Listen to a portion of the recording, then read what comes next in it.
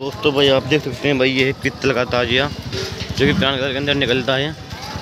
और भाई, ये देख सकते हैं आप पित्तल का ताजिया है, जो प्राण कलर के अंदर निकलता है। मैं आपको दिखाऊँगा इसे चारों तरफ़ से।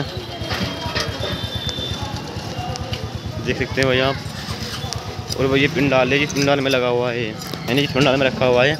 और इधर जो है, दरगाह शरीफ है, एक छोटा ताज़ा रखा है पित्तल का ये ताज़ा देख सकते हैं भैया आप, जो कि बहुत ही लागत से बना है, यानी बहुत ही पैसे से बना हुआ ये ताजिया है माशाल्लाह बहुत अच्छा लग रहा है।